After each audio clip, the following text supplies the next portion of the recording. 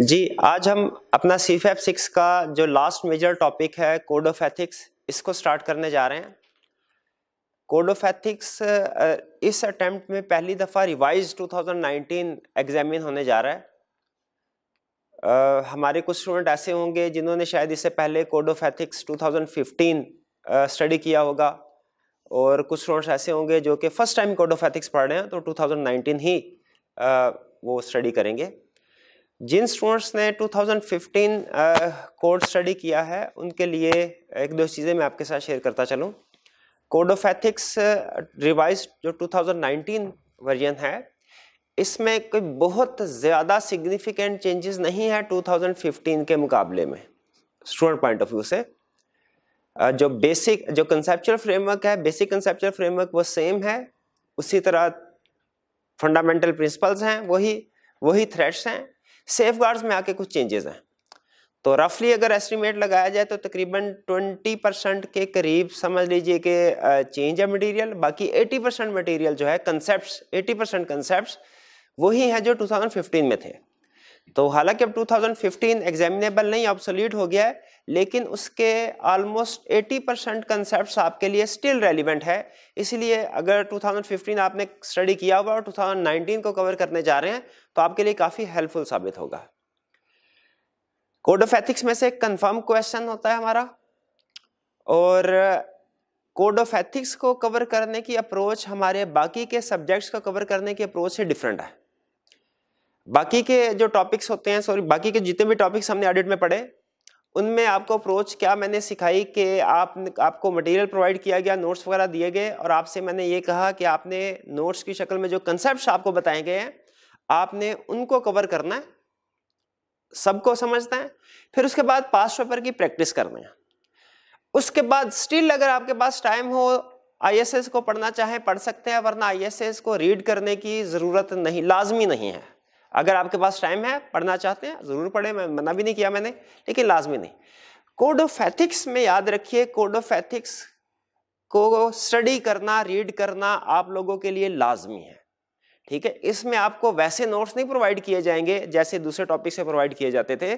इसमें आपको reason code of ethics से कवर करना पड़ेगा टॉपिक को, क्योंकि जो सिचुएशंस आएँगी वो बेसिकली कोड ऑफ़ एथिक्स में से टेस्ट होंगी और आपने ये वाहिद टॉपिक है जिसमें लाजमी जो हैंडबुक है उसको यूज़ करना है। हाँ उसमें मैं जब जैसे जैसे टॉपिक कवर करता जाऊँगा, आपको बताता जाऊँगा, आपने रेलिवेंट जो पैराग्राफ हैं जो आपको बताए जाएँगे, आपने उनको रीड करते जाना है। और हाईलाइट करते जाना जो भी उसमें अहम चीज़ें होंगी। तो एक चीज़ ऐसे में रखेगा हमारा कोड ऑफ़ एथिक्स की अप्रोच डिफरेंट होगी। इसमें हम हैंडबुक यूज़ करेंगे। आपके पास हैंडबुक होनी चाहिए। अगर आपके पास नहीं है आई की वेबसाइट से आप डाउनलोड कर सकते हैं प्रिंट निकलवा सकते हैं, लेकिन एग्ज़ाम में लेके जाने के लिए आप बाद में बाई कर लीजिएगा। आजकल शायद वो फ़िज़िकल बुक जो है, वो एक्सेसिबल नहीं है। फ़िज़िकल लाइब्रेरीज में अवेलेबल नहीं है प्रोबेबली लेकिन जैसे ही अवेलेबल होती है, आप बाई कर लीजिएगा। तब तक आप सॉफ्ट कॉपी से काम चला सकते हैं या प्रिंट लेके भी काम चला सकते हैं।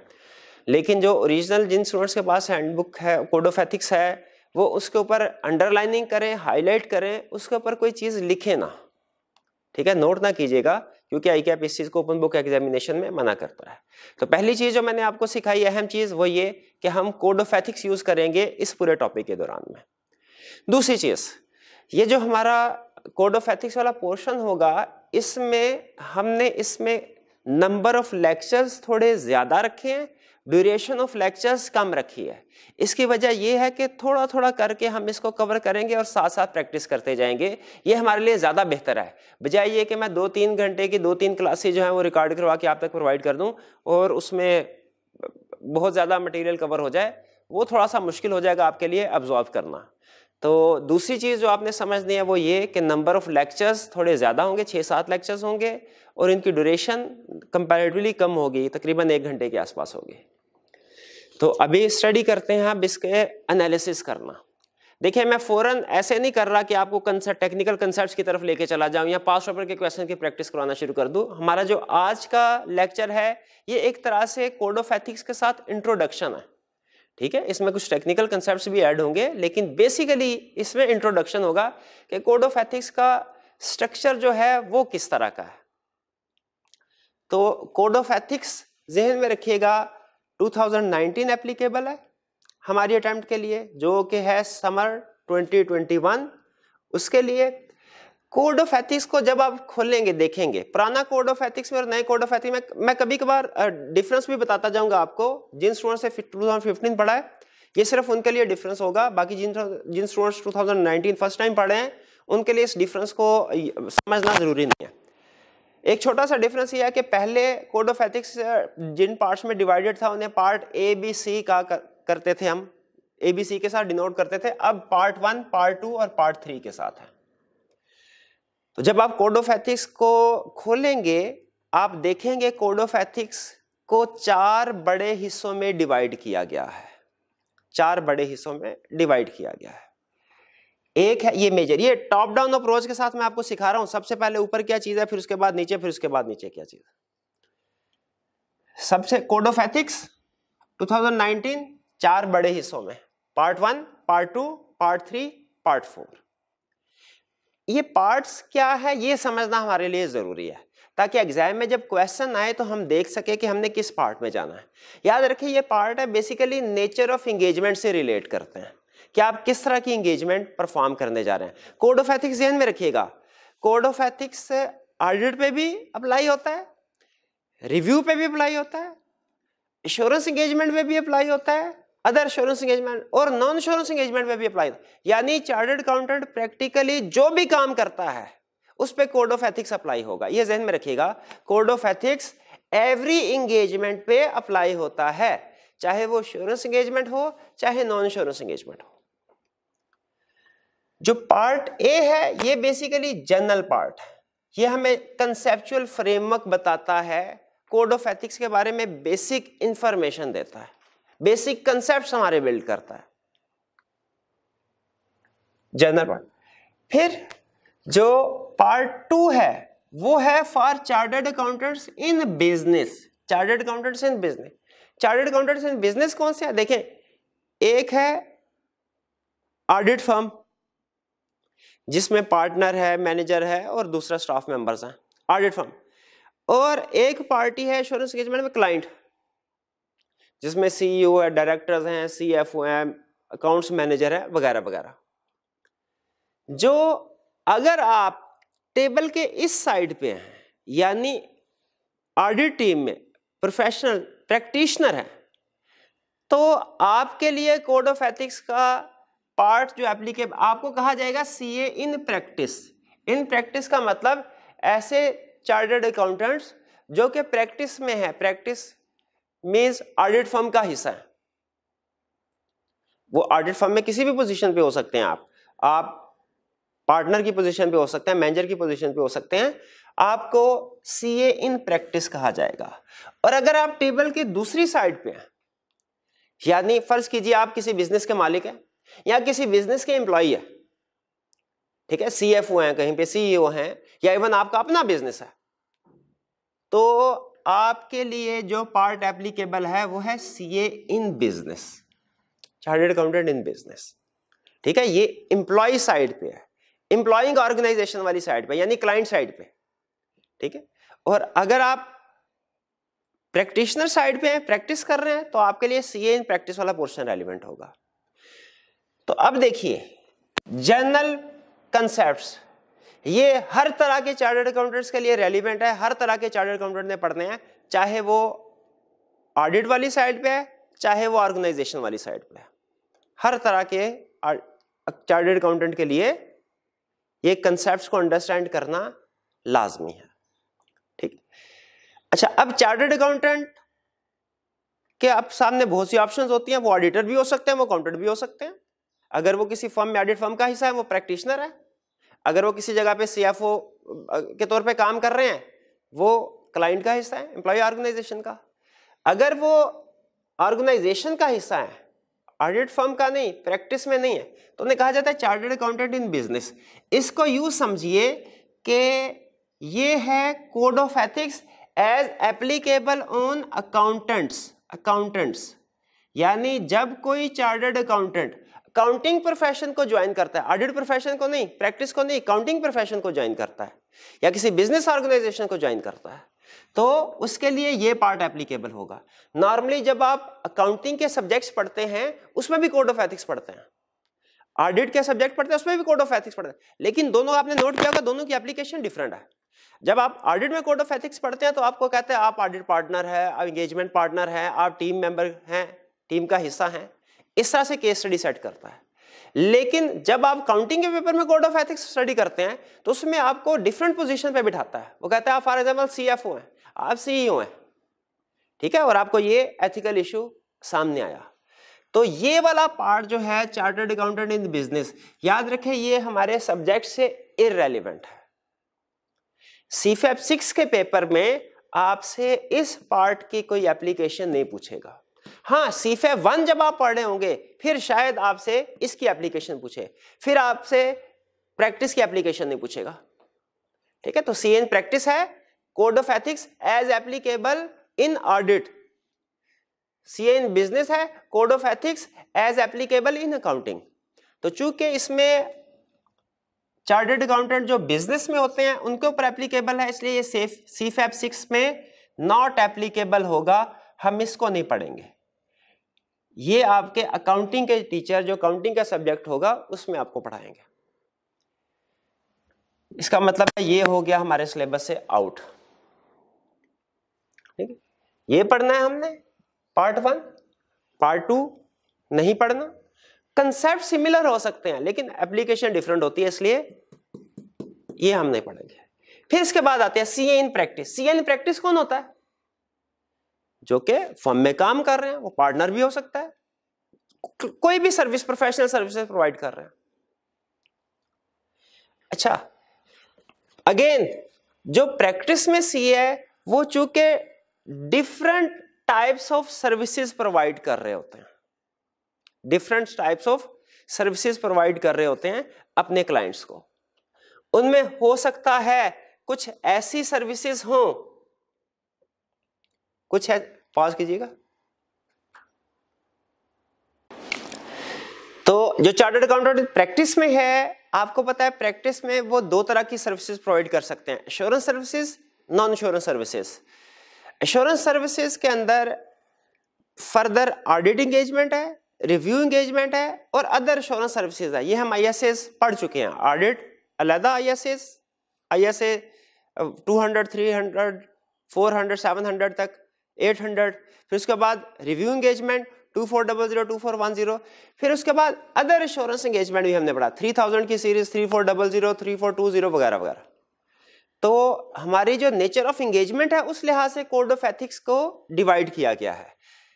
जो प्रैक्टिस में चार्टर्ड अकाउंटेंट है, उस पर पार्ट थ्री हर तरह के चार्टर्ड अकाउंटेंट पे अप्लाई होगा। यानी वो कोई भी सर्विस प्रोवाइड कर रहे हैं, चाहे इंश्योरेंस सर्विसेज़ चाहे non insurance services part four A, audit और रिव्यू सर्विसेज़ प्रोवाइड करने वाली एंगेजमेंट पे अप्लाई होगा। और अदर इंश्योरेंस सर्विसेज़ जो हैं, यानी three thousand three four double zero वगैरह, कोई भी ऑडिट और रिव्यू के अलावा, उसके ऊपर पार्ट फोर बी अप्लाई होगा। पार्ट फोर बी अप्लाई होगा। ये nature of application of code of ethics समझ लीजिए, ठीक है? फिर से क्विकली रिवीजन करते हैं। कोड ऑफ़ एथिक्स को कुछ हिस्सों में डिवाइड किया गया है। क्यों डिवाइड किया गया है? डिपेंड करता है इसका, कुछ हिस्सा अप्लाई करता है ऐसे चार्टर्ड अकाउंटर्स पे जो प्रैक्टिस कर रहे हैं, कुछ ऐसे चार्टर्ड अकाउंटर्स पे जो बिज़नेस ऑर्गेनाइजेशन का हिस्सा है, फिर इसके बाद जो फर्म में चार्टर्ड अकाउंटर्स प्रैक्टिस कर रहे हैं, इनमें कुछ कोड ऑफ़ एथिक्स का पार्ट ऐसा है जो कि हर इंगेजमेंट पे अप्लाई होगा, कुछ ऐसा है जो ऑडिट एंड रिव्यू एंगेजमेंट में अप्लाई होगा, और कुछ ऐसा है जो कि अदर इंश्योरेंस एंगेजमेंट्स में अप्लाई होगा। ठीक? अब इसमें कोड ऑफ़ एथिक्स का पार्ट वन किन पे अप्लाई होता है? कोड ऑफ़ एथिक्स का पार्ट वन हर तरह के चार्टर्ड अकाउंटेंट्स पे। हर तरह के चार्टर्ड अकाउंटेंट्स पे। ये हमने कवर करना है। पार्ट टू किन पे अप्लाई होता है? वो चार्टर्ड अकाउंटेंट्स जो बिज़नेस ऑर्गेनाइजेशन का हिस्सा है। हमारे पेपर के स्कोप से बाहर है। ऑडिट के स्कोप से बाहर है। ये हमने कवर नहीं करना। जो चार्टर्ड अकाउंटेंट प्रैक्टिस है उनको कवर करेंगे। यानी जो प्रैक्टिशनर्स है सी फर्म का हिस्सा है। अब इनमें भी कोई कोड ऑफ़ एथिक्स ऐसे कोड ऑफ़ एथिक्स का एक पोर्शन ऐसा है जो हर तरह की इंगेजमेंट पे अप्लाई हो रहा है। ये अब नेचर ऑफ़ एंगेजमेंट के लिहाज से एप्लीकेशन है। ठीक है? ये ऊपर जो थी वो प्रोफेशन के लिहाज से एप्लीकेशन थी। कि आपने किस प्रोफेशन किस फ़ील्ड को चूज़ किया, चार्टर्ड अकाउंटेंट ने? नीचे एंगेजमेंट के लिहाज से एप्लीकेशन है। हर तरह की एंगेजमेंट चाहे इंश्योरेंस है, चाहे नॉन इंश्योरेंस है, उसके ऊपर पार्ट थ्री अप्लाई होगा। एश्योरेंस इंगेजमेंट है, उसमें ऑडिट एंड रिव्यू है पार्ट फोर ए अप्लाई होगा, और ऑडिट और रिव्यू के अलावा अदर इंश्योरेंस इंगेजमेंट है फोर बी अप्लाई होगा। अब सुनिए, हमारे सिलेबस के मुताबिक पार्ट थ्री एप्लीकेबल है, हम कवर करेंगे, क्योंकि ये ऑडिट इंगेजमेंट पे भी अप्लाई होता है रिव्यू एंगेजमेंट में भी, और बाकी की इंश्योरेंस एंगेजमेंट हर तरह की इंगेजमेंट पे। पार्ट फोर ए ऑडिट और रिव्यू ये हमारे लिए मोस्ट इंपॉर्टेंट पार्ट है। पूरे कोड ऑफ़ एथिक्स में जो सबसे अहम पार्ट है, हमारा वो ये है। क्योंकि एग्ज़ाम में जितने भी अभी तक उसकी प्रैक्टिस है, जितने भी क्वेश्चन उसने बनाए हैं, वो ऑडिट या रिव्यू के कंटेक्स्ट में बनाए हैं, बल्कि ज़्यादातर ऑडिट इंगेजमेंट के कंटेक्स्ट में बनाए हैं।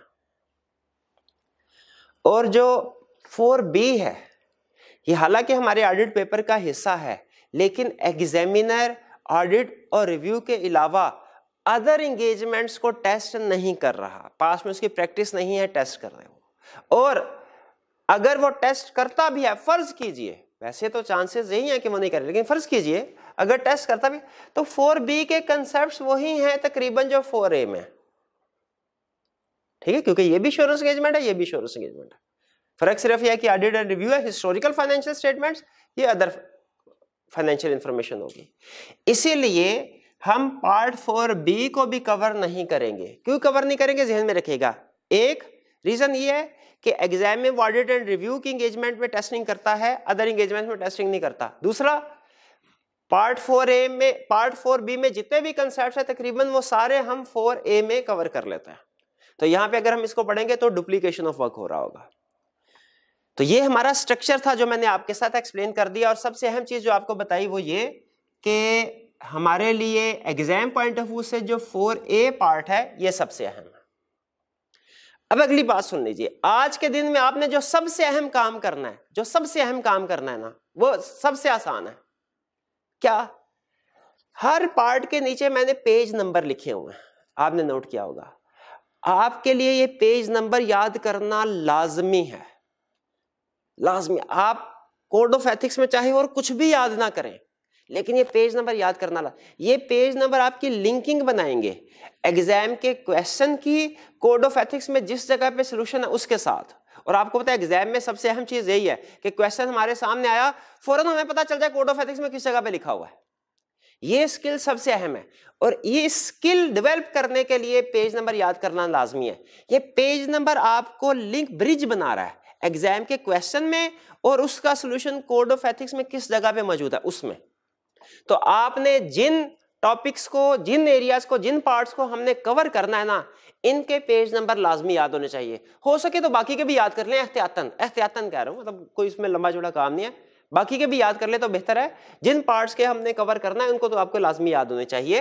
पार्ट वन आइंदा, जब कभी मैं आपसे पूछूँ हाँ भाई code of ethics part one क्या बताया हुआ है? आपको पता हो, ये जनरल कंसेप्ट बताता है।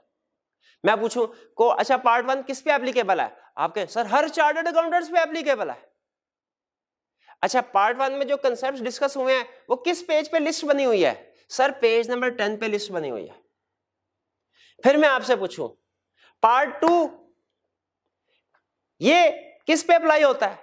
सर, ये सिर्फ़ उन चार्टर्ड अकाउंटेंट्स पे अप्लाई होता है जो कि बिज़नेस साइड पे है। अच्छा इस पे जो कंसेप्ट अप्लाई होते हैं, उनकी लिस्ट किस पेज पे है? ट्वेंटी सेवन पे। ठीक, आगे चलते हैं। पार्ट थ्री किन चार्टर्ड अकाउंटेंट्स पे अप्लाई होता है? किस पे अप्लाई होता है? ऐसे चार्टर्ड अकाउंटेंट्स पे जो कि प्रैक्टिस का हिस्सा है, प्रोफेशन का हिस्सा है, बिज़नेस साइड में नहीं है, वो प्रैक्टिस साइड पे और पार्ट थ्री, प्रैक्टिस में हर इंगेजमेंट के ऊपर पार्ट थ्री अप्लाई होगा। अच्छा इसके कंसेप्ट किस पेज पे है? पेज नंबर 68 पे। फिर पार्ट फोर है फोर ए में और थ्री में क्या फ़र्क है? थ्री हर इंगेजमेंट पे एश्योरेंस हो या नॉन एश्योरेंस हो? फोर ए ऐसी इंश्योरेंस एंगेजमेंट में जो ऑडिट या रिव्यू है? फोर बी ऐसी इंश्योरेंस एंगेजमेंट जो other than audit and review है। ठीक है? इसका मतलब है अगर एग्ज़ाम में फ़र्स्ट कीजिए, वो हमसे कोई नॉन इंश्योरेंस एंगेजमेंट पे एथिकल इशू बता देता है तो कहाँ पे जाएँगे? नॉन इंश्योरेंस एंगेजमेंट है। और कोई एथिकल इशू आ गया, कहाँ जाएँगे? पार्ट थ्री में। ठीक है। ऑडिट में उसने बताया कि एथिकल इशू आ गया। कहाँ जाएँगे? फोर ए में। फोर ए के किस सफे पे? किस सफे पे? Page number one twenty four पे। ठीक। तो ये पेज नंबर आपको याद होना लाजमी। पार्ट्स याद होने और हर पार्ट का पेज हर पार्ट में कवर क्या कर रहे हैं हम? और उसका पेज नंबर क्या है? ये आपको पता होना चाहिए। अब हम वापस आते हैं। स्टार्ट करते हैं हम पार्ट वन से। Part one page number ten ये हमें क्या बताता है? यह हमें कंसेप्चुअल फ्रेमवर्क बताता है कि कोड ऑफ़ एथिक्स लॉजिकली कितने हिस्सों में डिवाइडेड है। या कोई भी अगर एथिकल इशू अराइज होता है, हमने किन स्टेप्स में उसको एड्रेस करना है रिस्पॉन्ड करना है। कोड ऑफ़ एथिक्स कहता है, सबसे पहले तो फंडामेंटल एथिकल प्रिंसिपल्स होते हैं। स्टार्ट कोड ऑफ़ एथिक्स का यहाँ से होता है। कहता है, कुछ प्रिंसिपल्स हैं जो हर चार्टर्ड अकाउंटेंट को कंप्लाई करना ज़रूरी है। मानना समझना और उसके ऊपर अमल करना ज़रूरी। यानी कुछ असूल है। जैसे जो बड़े लोग होते हैं, वो असूल पसंद होते हैं, असूलों की ज़िंदगी गुजारते हैं। तो उसी तरह जो चार्टर्ड अकाउंटेंट्स होते हैं, इनके भी कुछ असूल होते हैं प्रोफेशनल लाइफ में। वो असूल क्या है? वो ये पाँच असूल हैं। Integrity objectivity professional competence and due care confidentiality professional behaviour अच्छा अब देखिए, इसके साथ साथ मैं जब कोई कंसर्ट पढ़ाऊँगा आपको तो अक्सर सेक्शन साथ में मेंशन कर दिया करूँगा। इसका ये मतलब हर किस नहीं आपने सेक्शन जबानी याद करना है। जबानी याद करने को आपको सिर्फ़ एक चीज़ कही है मैंने। कुछ पेजेस की लिस्ट पार्ट वन किस पेज पे है लिस्ट पार्ट टू की लिस्ट किस पेज पे है? थ्री की किस पे है? फोर ए की किस फाइव फोर बी की किस पे? ये सिर्फ़ पेज नंबर याद करने आगे सेक्शन सिर्फ़ आपको लिंक करवाने के लिए जब आप जो कंसर्ट मैंने समझाया, इसको रीड करना है आपने तो कोड ऑफ़ एथिक्स में किस जगह पे जाके रीड करेंगे। तो ये section one ten part one में सेक्शन वन टेन से लेके वन हंड्रेड फिफ्टीन तक। तो फाइव फंडामेंटल एथिकल प्रिंसिपल्स है। ये प्रिंसिपल्स कैफ लेवल पे आप डिटेल में स्टडी कर चुके हैं। मैं यहाँ पे रिपीट नहीं करवाऊँगा, क्योंकि यहाँ पे इस क्लास का मकसद कैफ लेवल का नॉलेज आपका रिवाइज करवाना नहीं है। अगर आपके पास कैफ लेवल के नोट्स पड़े हुए हैं, बहुत अच्छी बात नहीं है, कोई मसला नहीं है। आप कोड ऑफ़ एथिक्स पढ़े ओरिजिनल उसमें वही बातें हैं जो आपने कैफ लेवल में पढ़े हैं। ठीक। तो इंटेग्रिटी ब्रीफली मैं डिस्कस करता जाता हूँ ताकि कंसेप्ट रिफ्रेश हो जाए। इंटेग्रिटी का मतलब क्या है? जो चार्टर्ड अकाउंटेंट है स्ट्रेट फॉरवर्ड नेस्ट ट्रूथफुल रहे, अपनी डीलिंग में, झूठ ना बोले। ऑब्जेक्टिविटी का मतलब क्या है? ऑब्जेक्टिविटी का मतलब यह है कि वो विदाउट एनी बायस अपनी सर्विस परफॉर्म करे। यानी सर्विस परफॉर्म करने में उसे क्लाइंट को अनड्यू फेवर या अनड्यू एडवर्स नहीं होना चाहिए क्लाइंट से। इंडिपेंडेंट रहे न्यूट्रल रहे ऑब्जेक्टिव रहे। Without any bias decision making करना, ये ऑब्जेक्टिविटी कहलाता है। Professional competence and due care competence का मतलब क्या है? कि आप वही काम, जो काम एक्सेप्ट करने जा रहे हैं, कि हाँ मैं करता हूँ। अगर आप में वो नॉलेज वो स्किल है तो आप उसको एक्सेप्ट करें। कंप्यूटर्स का मतलब required knowledge required knowledge and skill किसी भी काम को करने के लिए। और मेरे पास फ़र्ज़ कीजिए रिक्वायर्ड नॉलेज एंड स्किल है मतलब कंपिटेंस है। लेकिन फिर मैंने एंगेजमेंट को एक्सेप्ट करने के बाद उसको सही तरीके से परफॉर्म भी करना है। ड्यू केयर का मतलब यही होता है कि आप जब एंगेजमेंट को परफॉर्म करें, सही तरीके से स्टैंडर्ड्स के मुताबिक परफॉर्म करें। आपने देखा होगा हमने different insurance engagement non insurance engagement study किए हर एंगेजमेंट का जब आप स्टार्ट करते थे, पहला स्टार्ट यहाँ से होता था एक्सेप्टेंस एंड कंटिन्यूस प्रोसीजर अगर आप में ये ये चीज़ें हैं, ये देखो तो फिर आप एक्सेप्ट कर सकते हो वर्दा एक्सेप्ट नहीं कर सकते। तो professional competence and due care का ताल्लुक इस चीज़ से है कि आप कोई भी इंगेजमेंट आपके पास आए, पहले आप वैल्यूएट कर लें, आप कंपिटेंट इनफ हैं उसको परफॉर्म करने के लिए और फिर अगर एक्सेप्ट कर लें, उसके बाद उसको स्टैंडर्ड्स के मुताबिक परफॉर्म करें। कॉन्फिडेंशियलिटी आपको अपने क्लाइंट को सर्विस प्रोवाइड करते हुए क्लाइंट की कोई भी इंफॉर्मेशन मिले, आपने उसको कॉन्फिडेंशियल रखना है। ना किसी को डिस्क्लोज करना है, ना पर्सनल बेनिफिट के लिए यूज़ करना है। कॉन्फिडेंशियलिटी में दो चीज़ें हैं, सिर्फ़ ये डिस्क्लोजर से रिलेट नहीं करता यूज़ से भी रिलेट करता है। हाँ कुछ एक्सेप्शन हैं, कुछ एक्सेप्शन हैं। जब आप कॉन्फिडेंशियलिटी प्रिंसिपल को बाईपास कर सकते हैं, यानी कॉन्फिडेंशियल इंफॉर्मेशन थर्ड पार्टीज़ को डिस्क्लोज कर सकते हैं। वो एक्सेप्शन कौन सी हैं? जब फॉर एग्जांपल लॉ रिक्वायर करे, जब क्लाइंट परमिशन दे दे, जब आई कैप का या एस का कोई क्वालिटी कंट्रोल रिव्यू चल रहा हो इन्वेस्टिगेशन चल रही हो, वगैरह वगैरह। तो कॉन्फिडेंशियलिटी की कुछ एक्सेप्शंस भी हैं, ये जहन में रखिएगा। कैफ में आपको याद होगा एक्सेप्शंस के ऊपर हम ज़ोर दिया करते थे। और प्रोफेशनल बिहेवियर यानी क्लाइंट के साथ आपने कर्डिसी से बिहेव करना। है प्रोफेशनली ये हमारे फंडामेंटल एथिकल प्रिंसिपल्स है, जो दुनिया के हर चार्टर्ड अकाउंटेंट को, चाहे वो प्रैक्टिस में है, चाहे वो बिज़नेस में है, चाहे इंश्योरेंस इंगेजमेंट है, चाहे नॉन इंश्योरेंस एंगेजमेंट है, दुनिया के हर चार्टर्ड अकाउंटेंट को इन प्रिंसिपल्स को पूरा करना है। यहाँ तक एग्री करते हैं, आगे चलते हैं। लेकिन इन प्रिंसिपल्स को पूरा करना इतना आसान नहीं है। ज़ाहिर असूलों के साथ ज़िंदगी गुजारना मुश्किल काम है।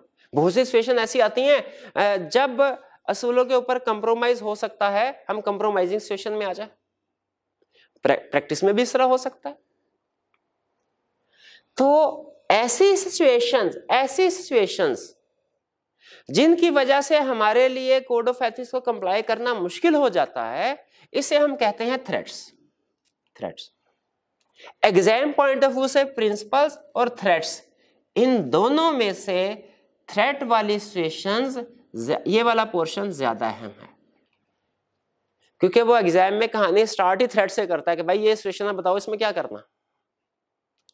थ्रेट्स थ्रेट्स का मतलब क्या? ऐसी सिचुएशंस ऐसी सरकमस्टांसेस जिनकी वजह से हमें फंडामेंटल एथिकल प्रिंसिपल्स को कंप्लाई करना मुश्किल हो जाता है। अच्छा अगर हमें थ्रेट्स को फेस करना पड़ता है प्रैक्टिकली स्टेप बाय स्टेप हमारी अप्रोच क्या होगी? सुनिए कोड ऑफ़ एथिक्स अप्रोच बताता है। कहता है, सबसे पहले आप ये देखिए कि थ्रेट्स को आइडेंटिफाई कीजिए।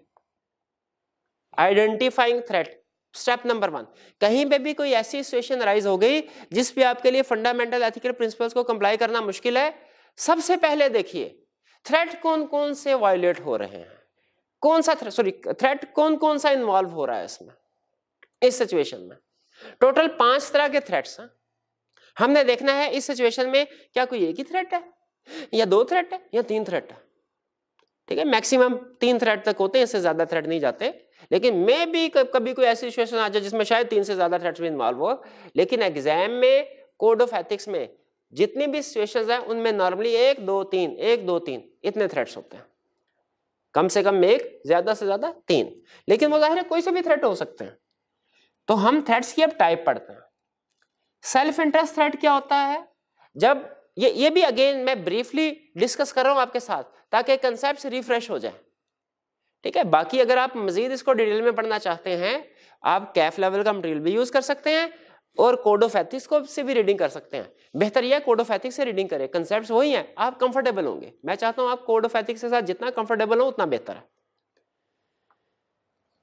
तो सेल्फ इंटरेस्ट थ्रेट का मतलब क्या है? जब हमारा क्लाइंट के साथ कोई पैसों का लेना देना होगा रिलेशनशिप होगा इंटरेस्ट इन्वॉल्व होगा फाइनेंशियल सेल्फ इंटरेस्ट थ्रेट का मतलब फाइनेंशियल पैसों का। फ़ीस ओवर ड्यू है। क्लाइंट के शेयर्स लिए हुए हैं। लोन लिया है लोन दिया है। बिज़नेस रिलेशनशिप है। मिलके बिज़नेस कर रहे हैं। ये सारी जो सिचुएशंस है self interest threat self interest threat मतलब क्या? कि एंगेजमेंट टीम में से किसी भी बंदे का क्लाइंट या उसके किसी भी बंदे के साथ पैसों का लेना देना हो। इसमें छोटी से छोटी सिचुएशन भी और बड़ी से बड़ी भी कवर हो सकती है। जैसे छोटी छोटी सिचुएशन क्या है? कुछ अरसा गुजर गया फ़ीस पे नहीं की। बड़ी से बड़ी सिचुएशन क्या हो सकती है? बिज़नेस रिलेशनशिप है हमारे पार्टनर का क्लाइंट के सीईओ के साथ। और भी डिफरेंट सिचुएशन है। छोटी से छोटी, बड़ी से बड़ी इसलिए कहा कि कुछ पॉस आगे चल के जब हम कोड ऑफ़ एथिक्स की सिचुएशन को पढ़े होंगे, कुछ सिचुएशन में थ्रेट्स कम सिग्निफिकेंट होगा। कुछ सिचुएशन में थ्रेट्स ज़्यादा सिग्निफिकेंट होगा।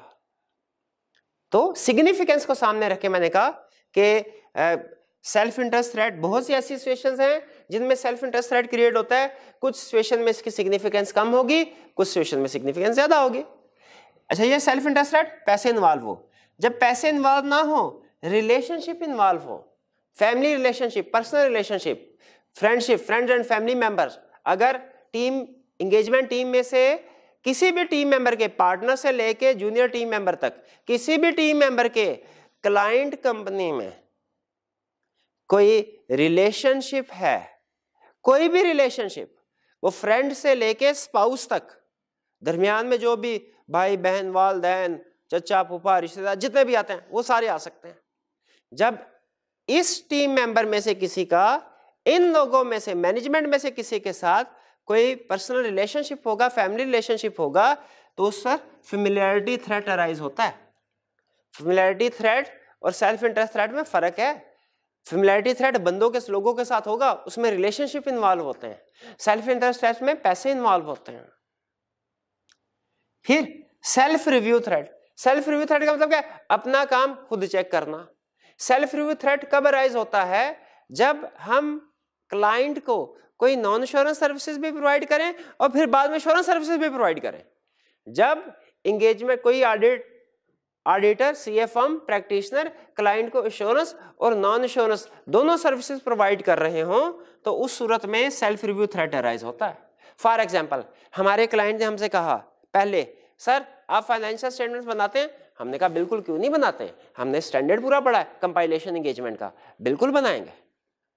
अच्छा बताइए हमने फाइनेंशियल स्टेटमेंट बना ली। बाद में उसने कहा, सर, आप ऑडिट भी करते हैं? हमने कहा, बिल्कुल, क्यों नहीं? ऑडिट भी करते हैं हम। हमने आई एस टू हंड्रेड से लेके आई एस एट हंड्रेड तक। सारे स्टैंडर्ड ऑडिट के पढ़े ऑडिट भी करना आता है हमें। उसने कहा, लाए ऑडिट भी कीजिए अब। अपनी बनाई हुई फाइनेंशियल स्टेटमेंट्स का खुद ऑडिट कर रहे हैं। देखा अपना किया हुआ काम खुद रिव्यू कर रहे हैं। थ्रेट अराइज हो गया। क्या थ्रेट क्या पता नहीं हम सही तरीके से रिव्यू कर सके कि नहीं? सही तरीके से उसको एग्जामिन वेरीफाई कर सके कि नहीं? कहीं हम ये ना सोचे कि यार हमारे हाथ से बनी है फाइनेंशियल स्टेटमेंट ठीक ही होंगी, दोबारा चेक करने की क्या ज़रूरत है? तो यह है सेल्फ रिव्यू थ्रेट अब आपके जिसमें क्वेश्चन राइज होगा, क्या हम एक ही क्लाइंट को इंश्योरेंस और नॉन इंश्योरेंस दोनों सर्विसेज़ प्रोवाइड कर सकते हैं। इसका जवाब है यस लेकिन विद सम कंडीशंस वो हम इसी कोड ऑफ़ एथिक्स में आगे चल के पढ़ेंगे। फ़िलहाल आप ये ज्यूम कर लीजिए कि मैं जो कह रहा हूँ सही है कि हम एक ही क्लाइंट को इंश्योरेंस और नॉन इंश्योरेंस दोनों सर्विसेज़ प्रोवाइड कर सकते हैं। लेकिन कुछ केसेस में कर सकते हैं, कुछ में नहीं कर सकते हैं, जिनमें कर सकते हैं, उनमें कंडीशन के साथ हैं। कंडीशन हम बाद में पढ़ेंगे। Next advocacy threat advocacy threat का मतलब क्या होता है? क्लाइंट के पॉइंट ऑफ़ व्यू को प्रमोट करना।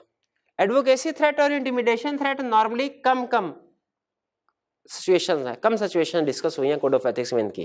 लेकिन एग्ज़ाम पॉइंट ऑफ़ से बारह हमने कवर करना है। एडवोकेसी थ्रेट मतलब क्लाइंट के पॉइंट ऑफ़ व्यू को प्रमोट करना।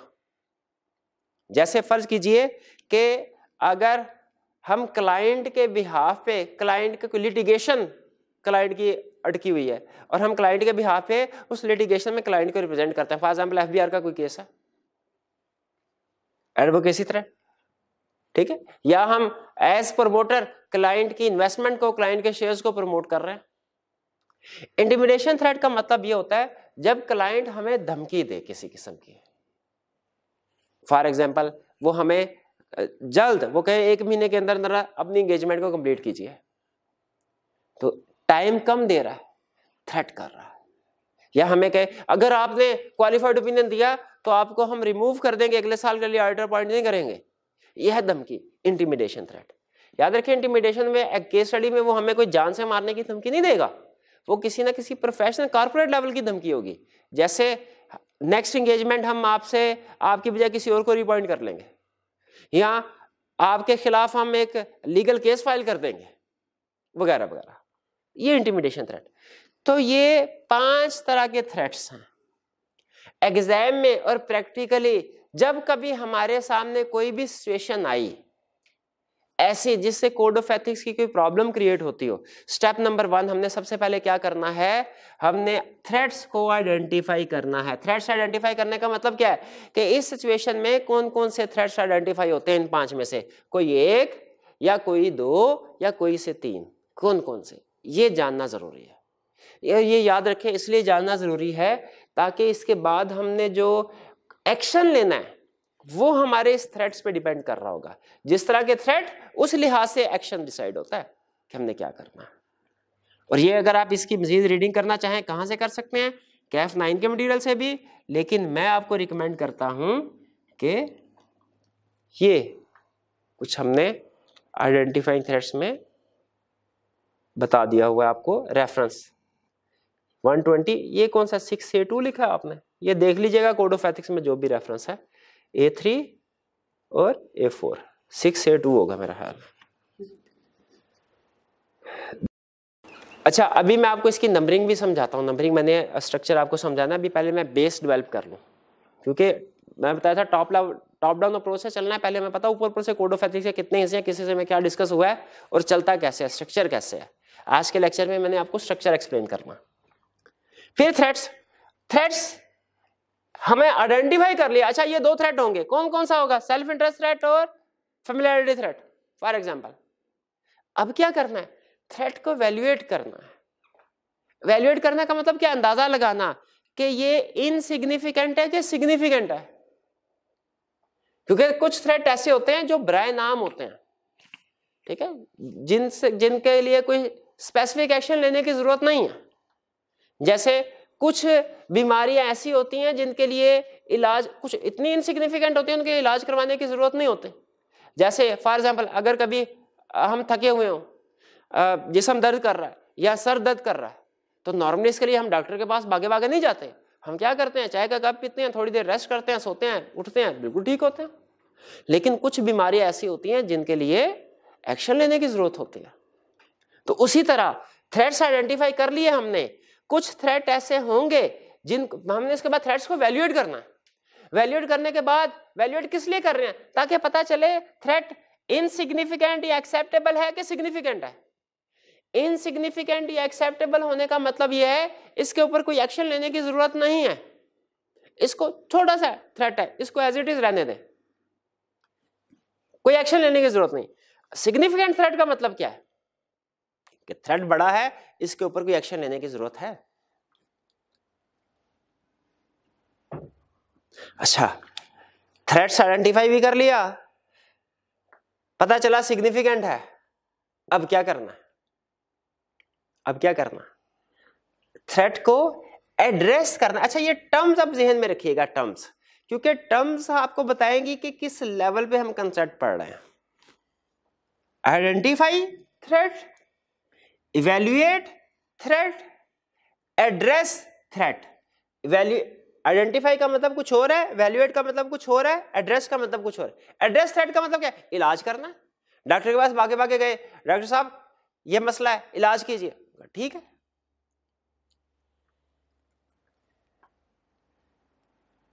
क्या क्या करना है? सेफ़ गार्ड्स थ्रेट को तीन तरीकों से एड्रेस किया जा सकता है। एक सेफ़ गार्ड एक एक्शन टू एलिमिनेट थ्रेट तीसरा डिक्लाइन एंगेजमेंट डिक्लाइन एंगेजमेंट इसको एग्ज़ाम्पल से एक्सप्लेन करता हूँ। फ़र्ज़ कीजिए, एक मरीज़ को डॉक्टर के पास लेके जाया गया। ठीक है? अगर वैसे चलने फिरने की वजह से टांग में दर्द हो जाती तो ज़ाहिर है वो इनसिग्निफिकेंट थ्रेट होता।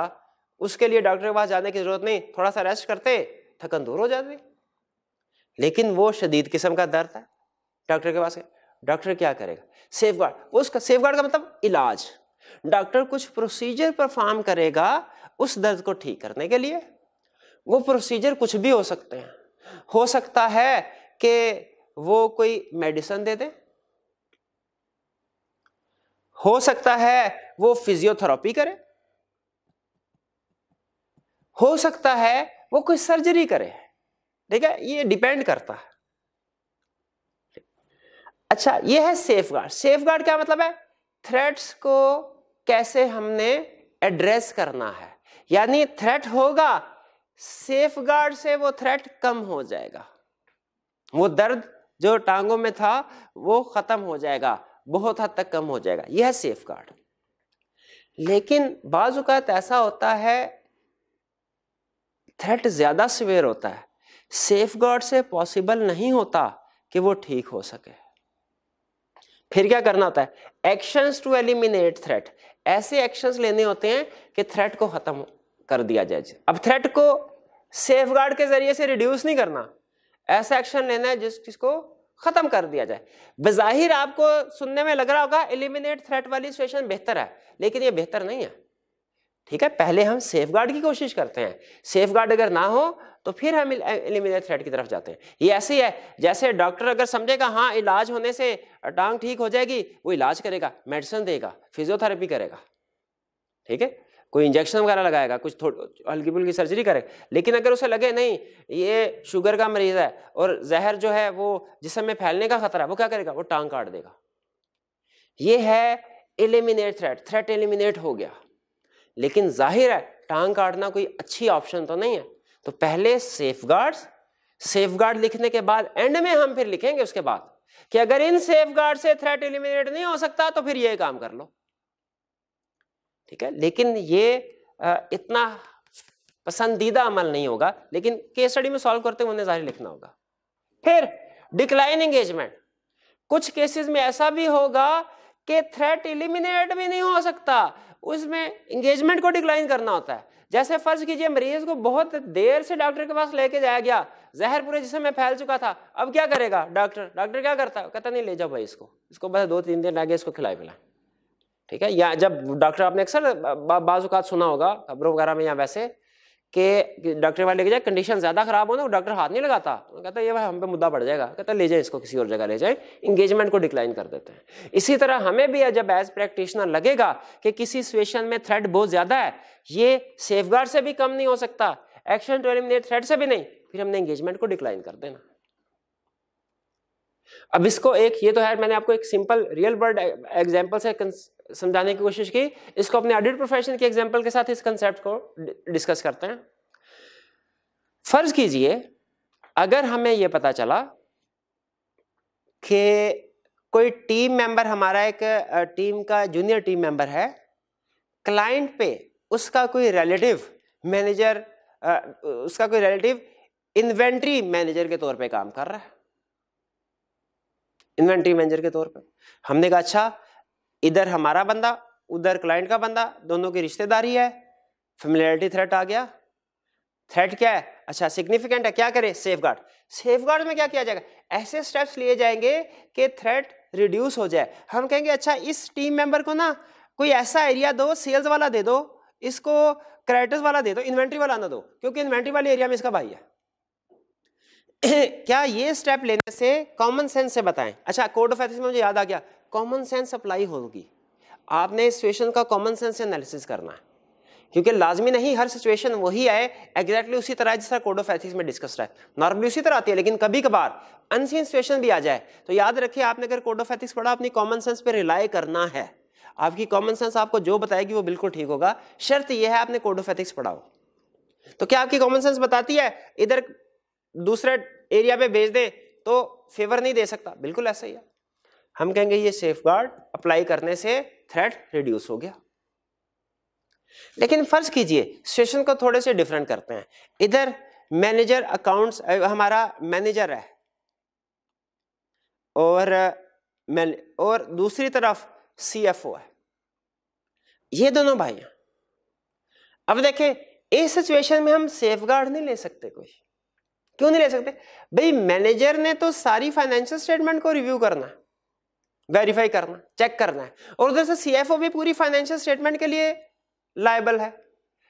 अब हम अपने मैनेजर की रिस्पॉन्सिबिलिटीज को रीस्ट्रक्चर करके, उसकी रिस्पॉन्सिबिलिटी को चेंज नहीं कर सकते। क्योंकि रिस्पॉन्सिबिलिटी को चेंज करके जो एरिया देंगे, वो भी तो उसी थ्रेट के अंडर कवर हो रहा होगा। यहाँ पे फिर हम इसका मतलब सेफ़ गार्ड अप्लाई नहीं तो क्या कर सकते हैं भला? यहाँ पे हम उस मैनेजर को टीम का हिस्सा ही ना बनाएँ, किसी दूसरे को ले आए। ये है example action to eliminate threat threat खत्म हो जाएगा। हमने सेफ़ गार्ड कोई नहीं अप्लाई किया। हमने उस सिचुएशन को बाईपास कर दिया। उस सिचुएशन से एग्जिस्ट कर दिया। ठीक? फिर अच्छा चले, ये तो एलिमिनेट हो गया। लेकिन फ़र्ज़ कीजिए अगली सिचुएशन इधर से पार्टनर उधर से सीईओ ये दोनों भाई हैं। ये दोनों भाई हैं। अब पार्टनर को भी चेंज करने से मसला अब तो चेंज करने से भी मसला क्यों? पार्टनर स्टिल फर्म में रहेगा ना। तो वो डायरेक्ट अगर एंगेजमेंट में नहीं भी है, वो इनडायरेक्टली किसी ना किसी तरीके से इन्फ्लुएंस हो सकता है। तो इस तरह की अगर सिचुएशन अराइज हो, इसमें क्या करना है? डिक्लाइन द एंगेजमेंट एंगेजमेंट को ही एक्सेप्ट नहीं करना। तो ये बेसिकली डिपेंड करता है, हम एग्ज़ाम में जहन में रखिएगा एग्ज़ाम में किसी भी एक सिचुएशन में हमने सेफ़ एक्शन और डिक्लाइन इन सबको डिस्कस करेंगे सिग्निफिकेंस के लिहाज से। ठीक है? कुछ सिचुएशन में सेफ़ अप्लाई होते हैं। कुछ में आप देखेंगे, पढ़ेंगे सेफगार्ड के साथ उसने एलिमिनेशन थ्रेट की भी बात की होगी और कुछ जो ज़्यादा स्वेयर है उसमें डिक्लाइन एंगेजमेंट की भी बात की होगी। आपने तीनों को सोच, हर क्वेश्चन में लाजमी नहीं कि तीनों आए, हो सकता है किसी क्वेश्चन में हम सिर्फ़ सेफगार्ड की बात करें। किसी क्वेश्चन में हम डायरेक्टली एलिमिनेशन की बात करें, हम क्या सेफगार्ड पॉसिबल नहीं, ऐसे हो सकता है। लेकिन किसी भी सिचुएशन के ऊपर आपने रेडी रहना है तीनों ऑप्शंस के लिए।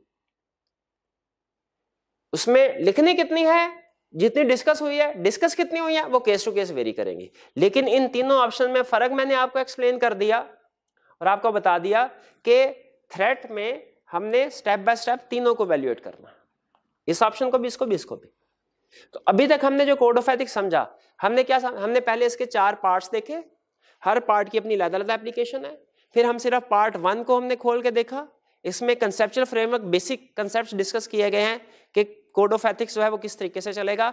हमें पहले पता चला फाइव फंडामेंटल एथिकल प्रिंसिपल्स हैं, फिर हमें पता चला कुछ थ्रेट्स हैं, फिर हमने थ्रेट्स में ये देखा कि जब कभी कोई भी ऐसी सिचुएशन हमारे सामने आती है, जिसमें कोई एक या दो या तीन थ्रेट्स आ रहे होंगे, हमने स्टेप नंबर वन क्या करना है? Identify threat step number two evaluate threat significant है कि insignificant step number three address threat address threat में क्या है? Safeguard eliminate decline engagement इसके बाद आगे चलते हैं।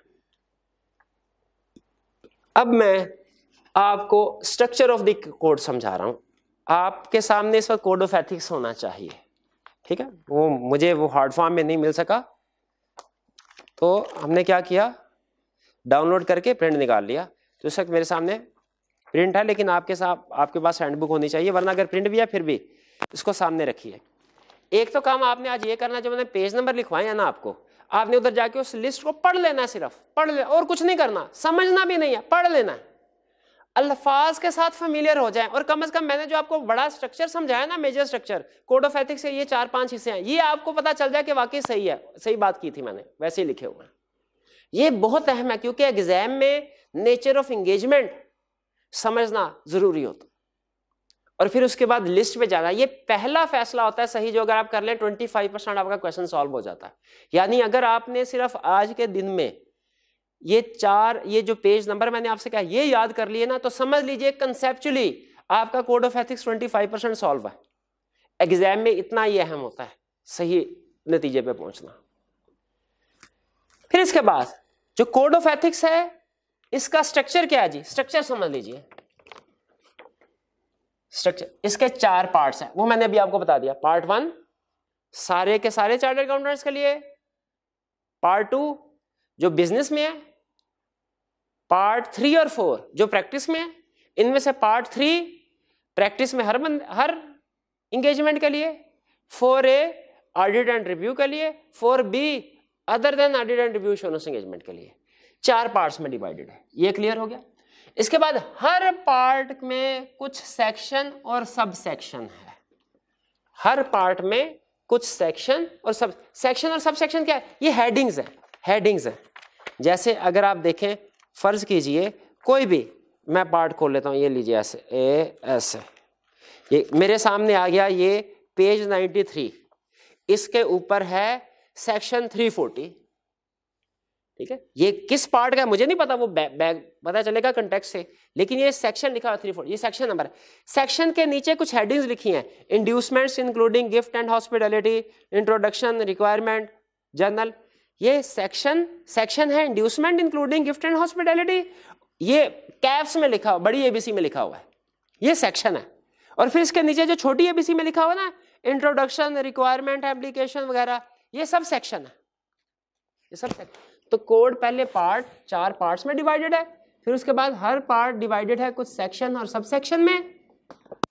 फिर हर सेक्शन या सब सेक्शन के अंदर पैराग्राफ्स हैं, और ये है हमारे लिए अहम काम के। ठीक है? बाकी तो सिर्फ़ लिंकिंग के लिए ज़रूरी होता है। ठीक है? एग्ज़ाम में क्या होगा? आप क्वेश्चन पढ़ेंगे, पहले देखेंगे, मुझे चार्टेड काउंटर बना रहा है कि मुझे काउंटर बना रहा है? फिर देखेंगे, ये ऑडिट एंगेजमेंट या रिव्यू एंगेजमेंट है या कोई अदर इंश्योरेंस एंगेजमेंट है। इस इस डिसीज़न के बाद आप इस फैसले पे पहुँच जाएँगे कि क्वेश्चन किस पार्ट पे बेस कर रहा है। वन पे टू पे थ्री पे फोर ए पे फोर बी पे।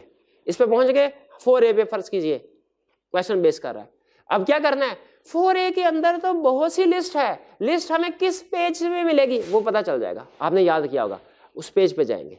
उस पे आपको डिफरेंट सिचुएशन बनी होगी। वो सेक्शन है। हर हर सिचुएशन का सेक्शन है। तो आपने पहले पार्ट क्वेश्चन पढ़ा क्वेश्चन से पहुँचे पार्ट पे। पार्ट के पेज पे गए तो देखा ये जिस सिचुएशन का ज़िक्र कर रहा है, जैसे गिफ्ट वाली सिचुएशन है, ये इस सफे पे कहा लिखा हुआ है? ठीक है? जैसे लॉन्ग एसोसिएशन की सिचुएशन है, इस सफे पे कौन सा सेक्शन है? पेज नंबर से आपको उस पेज नंबर पे जो लिस्ट है ना, वो बेसिकली सेक्शन है, उससे सेक्शन पता चल जाएगा। आगे, उस सेक्शन के आगे ही फॉर्चुनेटली खुशकिस्मती से उसने हमें पेज नंबर भी दिया हुआ है। हम उस पेज नंबर पे पहुँच जाएँगे। जैसे यहाँ पे मेरे सामने आया पेज 68 पे पार्ट थ्री है चार्टर्ड अकाउंट प्रैक्टिस इसमें देखें सेक्शन दिया हुआ है सेक्शन 300, 310, 320, 321 मैं देख लूँगा एग्ज़ाम में जो सेशन है वो किस वाले सेक्शन से रिलेट कर रही है? पहले मैं पहुँचा पार्ट पे पार्ट से पहुँचा सेक्शन पे सेक्शन से आगे 93 फ़र्ज़ कीजिए, मुझे पता चला 93 है। मैं पेज 93 पे पहुँच गया। सेक्शन के आगे पैराग्राफ अब पैराग्राफ सुन लीजिए। पैराग्राफ में डिफरेंट कमेंट्री है कि अगर इस तरह हो गिफ्ट छोटा हो, ये कर लो। गिफ्ट बड़ा हो, ये कर लो।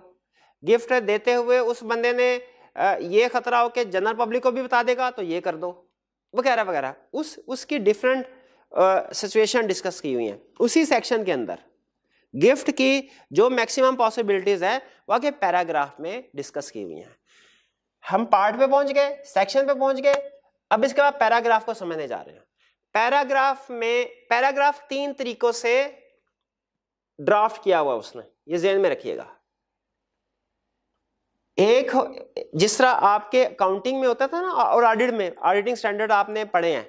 ऑडिटिंग हाँ ठीक है ऑडिटिंग स्टैंडर्ड उसमें आपने देखा होगा कि उसने रिक्वायरमेंट सारे लादा किए हुई हैं और एप्लीकेशन मटेरियल सारे लादा किए हुए हैं। और एप्लीकेशन वाले जो पैराग्राफ है, उनके साथ ए लिख दिया हुआ है।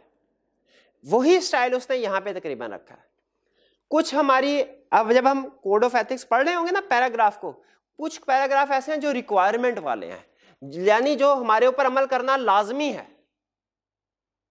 ऐसे पैराग्राफ आर से शुरू हो रहे हैं। आर मीन्स रिक्वायरमेंट इसका मतलब यह जो पैराग्राफ आर से शुरू हो रहा है ना, वो हमारे लिए सबसे अहम है, practically. Exam point of view से सारे पैराग्राफ ही अहम है भाई, मैं पहले बता दूँ। प्रैक्टिकली आर सबसे अहम है, क्यों? ये हमने मरते मर जाना है, इस रिक्वायरमेंट को नहीं छोड़ना, लाजमी पूरा करना। अनलेस के लॉ की तरफ़ से कुछ कहा जाए। ज़ाहिर आपको पता है, जब स्टैंडर्ड में लॉ में कंफ्लिक्ट होता है लॉ प्रिवेल करता तो रिक्वायरमेंट को लाजमी करना, ठीक? है जैसे ये एक पैराग्राफ है 114.1 इसके साथ आर लिखा हुआ है, इसका मतलब क्या ये रिक्वायरमेंट है। इसको लाजमी हमने पूरा करना फिर इस रिक्वायरमेंट के मजीद कुछ आगे, इससे नीचे, इस रिक्वायरमेंट से नीचे, और बाजुकात ऊपर भी एक्सप्लेनेशन आ रही होती है, क्योंकि किसी रिक्वायरमेंट को समझाने के लिए बाजुकात रिक्वायरमेंट को बता के फिर एक्सप्लेन करना पड़ता है कि इसका मतलब क्या है। और बाजुकात रिक्वायरमेंट से पहले कंटेक्स्ट बनाना पड़ता है कि देखो ये ये ये ये सिचुएशन हो सकती है, इस सिचुएशन में क्या करना है? ये करना है। यहाँ की रिक्वायरमेंट बता के आगे एक्सप्लेन कर सकता है। तो नॉर्मली रिक्वायरमेंट वाला जो पैराग्राफ होगा कोड ऑफ़ एथिक्स का नॉर्मली जो एप्लीकेशन वाला पैरा वो उसके बाद होगा, लेकिन कभी कभार पहले भी आ सकता है। जो एप्लीकेशन मटेरियल है, वो बेसिकली रिक्वायरमेंट की एक्सप्लेनेशन है एप्लीकेशन है, नाम से ज़ाहिर है, वो कुछ एग्जांपल्स वगैरह बता के हमें एक्सप्लेन कर रहा होता है। ये पैराग्राफ ए से शुरू हो रहा होता है ए जैसे 114.1 उसके आगे ए वन ठीक है? 114.1 ये रिक्वायरमेंट का पैरा था। ये बेसिकली पैराग्राफ नंबर ये होता है ये, ये एक सौ चौदह आशार्य एक। आर उसका स्टेटस बता रहा है रिक्वायरमेंट वाला। तो उसके बाद आगे ये एक सौ चौदह आशार्य एक के आगे वन वन आ गया। ये, ये इसका आगे फर्दर सब पैराग्राफ है। ए बता रहा है इसका नेचर एप्लीकेशन एक्सप्लेनेशन है ये।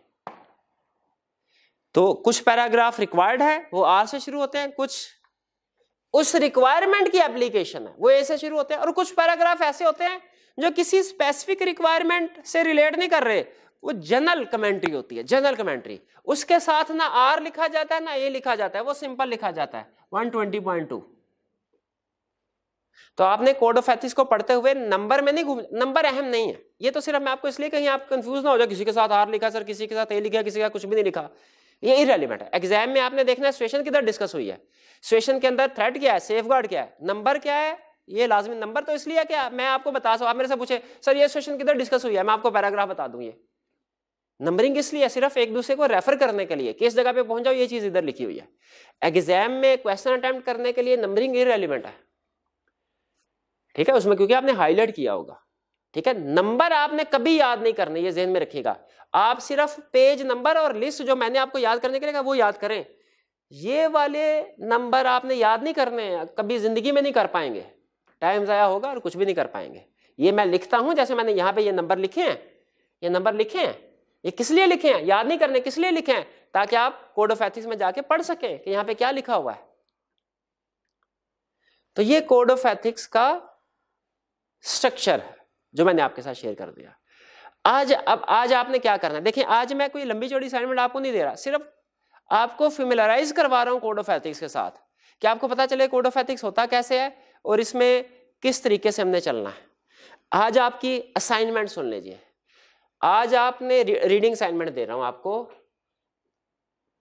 सबसे पहले जितने भी पार्ट्स हैं, इन सबसे अहम असाइनमेंट का हिस्सा।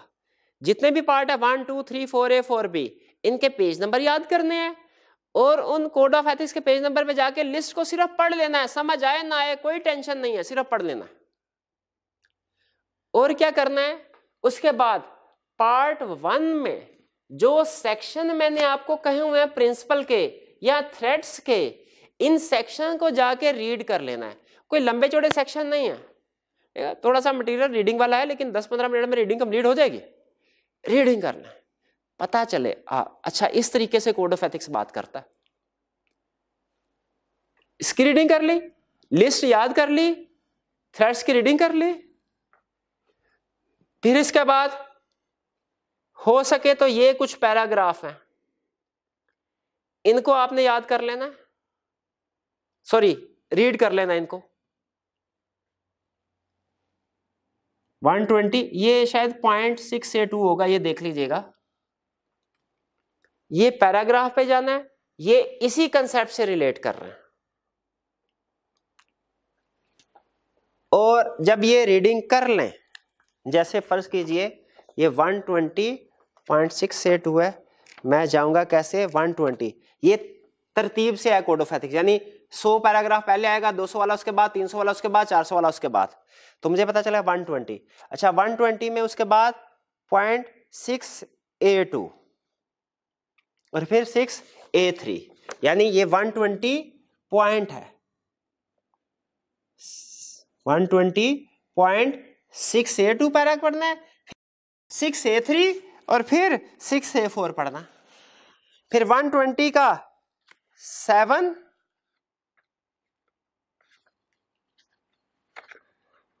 और फिर इसके बाद सेवन ए वन सेवन भी पढ़े और सेवन के बाद सेवन ए वन भी पढ़े फिर इसके बाद one twenty point one zero ये भी पढ़ना है। और फिर इसके बाद ए वन वन ज़ीरो का ए वन और वन ज़ीरो ए टू ये रीडिंग कर लें, ताकि आप पैराग्राफ के साथ आपको पढ़ना आ जाए। जब मैं अंदर रेफर किया करूँ, आपको पता चल जाए कि किस तरीके से अरेंजमेंट होती है। और सिंपल क्वेश्चन सिंपल देखें हमने आज तकरीबन एक घंटे में कोड ऑफ़ एथिक्स का स्ट्रक्चर समझ लिया है। लेकिन मैं चाह रहा हूँ आपको थोड़ा सा कॉन्फिडेंस दूँ कि हम एग्ज़ाम लेवल के क्वेश्चन करने के भी काबिल है। यानी आज के लेक्चर में भी हमने एग्ज़ाम मटेरियल भी कवर किया है। अभी शायद आपको थोड़ा सा मुश्किल लगे, लेकिन ये क्वेश्चन इतने मुश्किल है नहीं एक दो के अलावा। उम्मीद है कि आप आसानी से कर लेंगे और जो आपको बेसिकली मुश्किल है वो भी इस वजह से क्योंकि काफ़ी अर्सा हो गया ना कोड ऑफ़ एथिक्स पढ़ा हुआ है तो गैप आ जाता है। इजी क्वेश्चन भी आपको फौरी तौर पर समटाइम समझ नहीं आती। लेकिन आप कम से कम रीडिंग कर लें। ये नोट कर लीजिएगा, ये भाई फोकस करवा दीजिएगा जरा, ये, कि ये क्लियरली नज़र आ जाए स्टूडेंट्स को, कि ये क्वेश्चंस कौन से प्रैक्टिस करने हैं। अगर हो सके रिटर्न फॉर्म में करें। रिटर्न फॉर्म में नहीं कर सकते, अब पढ़ लें। लेकिन इसको करना ज़रूर है आपने। ठीक है रीडिंग कर लें। ये क्वेश्चन नंबर वन टू ये ये सॉरी सीरियल नंबर है। ये अटेम्प्ट बताया गया है विंटर 2011 का पार्ट टू उस क्वेश्चन का टाइटल है बाबर लिमिटेड लेकिन याद रखें अटेम्प्ट और उसमें पार्ट जहन में रखिएगा। अब मुझे यहाँ पे वैसे करना ये काम ये चाहिए था, मुझे अभी एहसास हुआ कि क्वेश्चन नंबर भी मेंशन कर देता। ठीक है? ये वो शायद वो आपको जो एक्सेल वाली शीट दी है ना, उसमें कोड ऑफ़ एथिक्स के आगे क्वेश्चन नंबर भी मेंशन होगा। वरना जब आप पेपर उठाएँगे तो उसमें से आपको पता चल जाएगा कौन सा बल्कि ये भी आपकी प्रैक्टिस ही हो जाएगी ना, कि पेपर उठाया, उसमें से दस क्वेश्चन कौन से वाला कोड ऑफ़ एथिक्स है? आपको पहचानना आसान होगा। उसमें कोड ऑफ़ एथिक्स थ्रेट्स के अल्फाज होंगे सेफ़ गार्ड के अल्फाज होंगे कोड ऑफ़ एथिक्स का, जिससे आपको पता चलेगा। तो ये भी एक तरह से आपकी प्रैक्टिस ही सही। वैसे ये तो मेरी थोड़ी सी नाहली है, मुझे यहाँ पे क्वेश्चन नंबर मेंशन कर देना चाहिए था, लेकिन कोई बात नहीं। हम इसको भी प्रैक्टिस बना लेते हैं अपने, कि ताकि हमें क्वेश्चन पढ़ के पहचानना है, ये कोड ऑफ़ एथिक्स का है कि नहीं है। तो इस अटेंड में जाना है, उसमें ये वाला क्वेश्चन ढूंढना है बाबर लिमिटेड वाला। कोशिश करनी है कि खुद रिक्वायरमेंट पढ़ के अंदाज़ा लगा लें। कि कौन से वाला कोड ऑफ़ एथिक्स वाला क्वेश्चन है? नहीं तो फिर ये आपको हिंट दिया गया टाइटल ऑफ़ क्वेश्चन ये होगा, इसके पार्ट टू पे जाए, उसको अटेम्प्ट करना। ये सिर्फ़ की पॉइंट लिख ले रिटर्न फॉर्म में। ठीक है? उसमें जो अभी तक हमने पढ़ा है, उसी में से क्वेश्चन पूछ रहा होगा। कोई थ्रेट्स में से पूछ रहा होगा, कुछ प्रिंसिपल्स कुछ कॉन्फिडेंशियलिटी या एक्सेप्शन या कुछ इस तरह का केस होगा, बहरहाल। तो ये है हमारा आज का लेक्चर आज के लेक्चर के एंड पे हमने, आज के लेक्चर में सीखा क्या? हमने टॉप डाउन अप्रोच से कोड ऑफ़ एथिक्स को स्टार्ट किया है। ठीक है? कि पहले कितने पार्ट्स में सब डिवाइडेड है, फिर हर पार्ट के अंदर कौन से सेक्शन है, उसकी लिस्ट हम मैंने सिर्फ़ आपको पढ़ने के लिए दी और पेज नंबर याद करने के लिए कहा। फिर हमने देखा कि हर सेक्शन सब सेक्शन के अंदर पैराग्राफ कितनी तरह के होते हैं। और एंड पे आप कुछ बेसिक कंसेप्ट जो कैफ लेवल के थे, उनको क्विकली रिफ्रेश रिवाइज करवा के मैंने आपको ये होम असाइनमेंट दी, जो देखे, रोज का काम रोज करते जाए। ज़्यादा नहीं है। ठीक है? लेकिन रोज का काम रोज करना लाजमी है ताकि आप कोड ऑफ़ एथिक्स साथ साथ चलाते जाएँ। अब आपको पता है कितने रह गया? डेढ़ महीना रह गया हमारा, बल्कि उससे भी कम। तो अब भी साथ साथ करेंगे ताकि ये महीना खत्म होने से पहले पहले हमारा कोड ऑफ़ एथिक्स पे ग्रिप आ जाए। अगले महीने में हमें टेंशन ना हो। तो प्रैक्टिस भी साथ साथ करते रहें, थोड़ा बहुत टाइम लगा के। ये था हमारा आज का कोड ऑफ़ एथिक्स का पहला लेक्चर कल के लेक्चर में हम इंशाल्लाह इससे आगे चलेंगे। अल्लाह हाफिज़।